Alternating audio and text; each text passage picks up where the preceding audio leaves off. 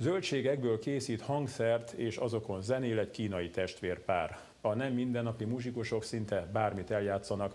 A hagyományos kínai népzenétől a popklasszikusokig minden megtalálható a repertoárjukban. Vásárlók az egyik pekingi piacon. A helyi éttermek és háziasszonyok itt szerzik be azokat az alapanyagokat, melyek később az asztalra kerülnek majd. Ez a két férfi is rendszeresen itt tart nagy bevásárlást. Az acskókban nem csak finom, hanem jó hangú zöldségek várják nem mindennapi sorsukat. A kínai testvérpár nem főzőcskézni készül. A 43 és 41 éves férfiak az ország kellős közepén egy növénytermesztő gazdaságban nőttek fel. Édesapjuk zenetanár volt, aki már gyerekkorukban hangszeres játékra oktatta őket. Zöldségeken még csak két éve kezdtek el zenélni, de azóta ez lett a legnagyobb szenvedélyük.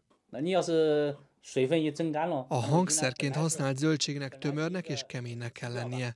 Fontos még a víztartalom, ennek figyelembevételével választjuk ki a legalkalmasabb darabokat.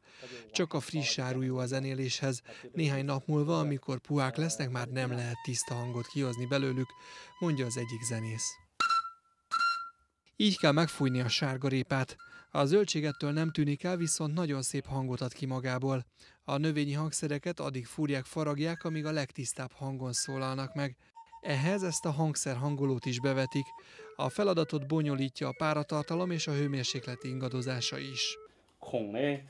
A hangzásnál nagyon számít az, hogy milyen mély lyukat fúrunk egy-egy zöldségbe. A pórihagyma tartja egyben a répákat, így inkább csak dekorációs jelentősége van, hangot az nem ad ki.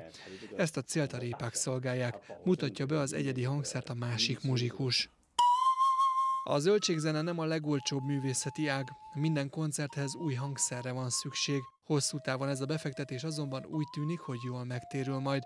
A testvérpár számos tehetségkutató versenyen fellépett, és volt már olyan előadásuk is, amikor csak nem 8000 dollárt, azaz több mint másfél millió forintot vihettek haza a muzsikálásért.